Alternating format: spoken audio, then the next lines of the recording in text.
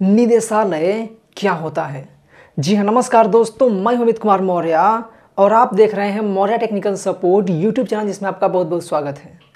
दोस्तों, जैसा कि आप सभी लोग जानते होंगे कि राज्य सरकार के मुख्यतः तीन घटक होते हैं, यानी कि थ्री कंपोनेंट्स होते हैं। पहले होते हैं मंत्री, जिन्हें इंग्लिश में मिनिस्टर कहा जाता है। दूसरे होते हैं सचिव, जिन्हें इंग्लिश में सेक्रेटरी कहा जाता है। और तीसरे होते हैं कार्यकारी प्रमुख, जिन्हें इंग्लिश में एग्जीक्यूटिव हेड कहा जाता है। तो जो मंत्री और सचिव होते हैं, इनसे मिलकर सचिवालय बनता है।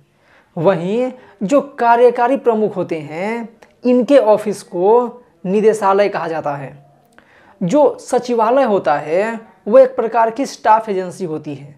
यानी कि इसका मुख्य कार्य होता है नीतियों का निर्धारण करना। नीतियाँ बनाना। जबकि जो निदेशालय होता है, उसका मुख्य कार्य होता है नीतियों का कार्यान्वयन करना। यानी कि जो नीतियाँ सचिवालय द्वारा बनाई जाती है या और भी जो नीतियाँ होती हैं, उसको लागू करवाने का काम निदेशालय का होता है।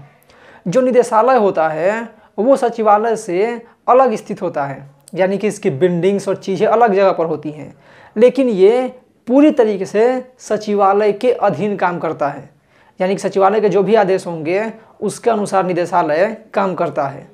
निदेशालय के जो प्रमुख होते हैं, उनको निदेशक कहा जाता है। ठीक है?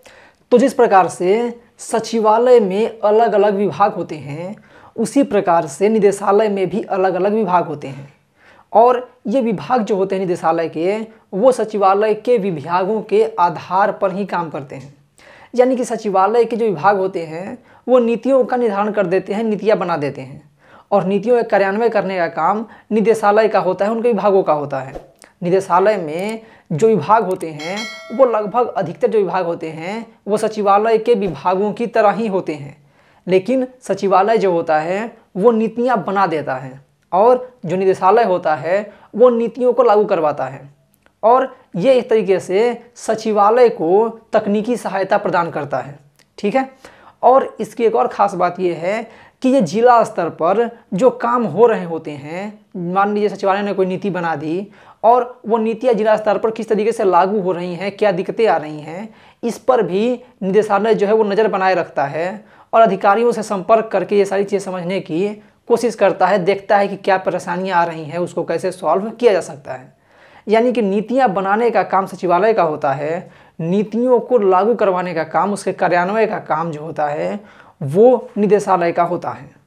तो इस वीडियो में इतना ही। उम्मीद है आपको वीडियो पसंद आएगा अगर वीडियो पसंद आई हो तो लाइक का बटन ज़रूर दबा वीडियो शेयर करें। और हमारे वीडियोज़ के बारे में चैनल के बारे में जो भी सोचते हैं, उसे कमेंट बॉक्स में ज़रूर लिखें।